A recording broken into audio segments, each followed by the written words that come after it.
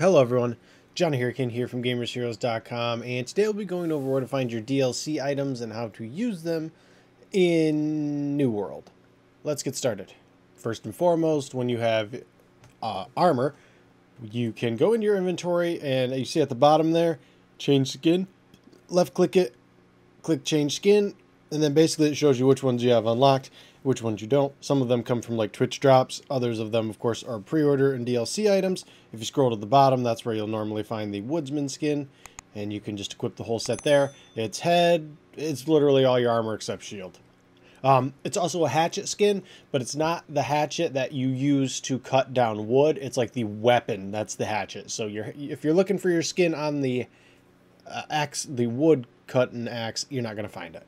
Next, your emotes. Open up P, you'll see that you'll have locked emotes and of course the two emotes that you get for pre-ordering, rock, paper, scissors, and whatever the other one is there. Click those, use them as you see fit. Also, you get a dog, which goes into your house, but that's not till level 20. And once you get there, it'll be really easy to find. Titles are found in the character screen. K, go to bio, and uh, you will see the title thing on the left there. It was bugged for me, but once it works, that is, of course, once or where you will end up finding your titles right there. Uninitialized, click it, did nothing, but eventually it will work. And then lastly, you get a little amulet for pre-ordering. If you open your inventory, that's already equipped automatically. It's the green item in the bottom left of my screen there, below my bullets. So basically, if you pre-order and have that, it'll automatically be equipped. Okay, there's your DLC items. If you liked what you saw, got what you needed, like, comment, subscribe. See you guys in the next video. Later, Gators.